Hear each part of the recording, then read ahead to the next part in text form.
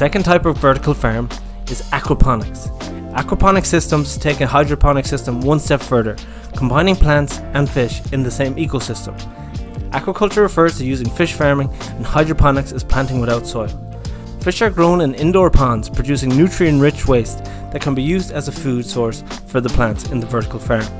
The plants, in turn, filter and purify the wastewater, which is recycled to the fish pond, creating a closed loop system. However, aquaponic systems do not have many real life commercial examples.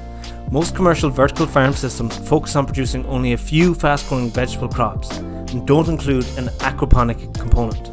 This simplifies the economics and production issues and maximizes efficiency. A lot of people are interested in aquaponics due to its self sustaining nature, and there is one commercial example in Europe, based in Germany, called Urban Farmers, that combine basil production with farming perch.